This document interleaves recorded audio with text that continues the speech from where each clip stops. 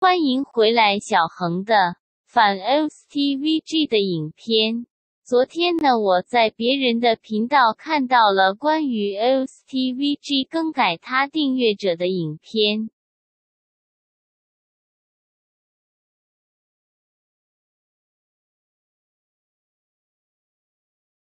我是知道 YouTube 可以更改自己的订阅，但是就算改了也没用。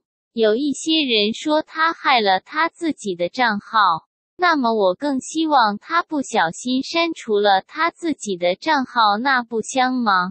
我认为他改他自己的订阅人数，只是为了让一些人以为他的订阅者很多不好欺负。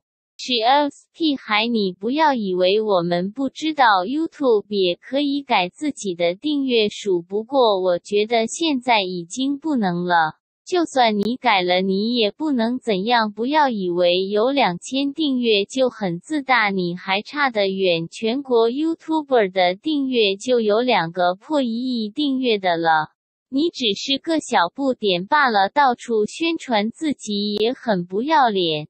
拍影片用什么变音器？怕自己的声音不好听就不要拍影片。我祝这个 S 小孩子，不不是是屁孩，你不配拍影片，不要再拍影片了，不要给你的家人丢脸，你在 YouTube 上的所作所为。backgo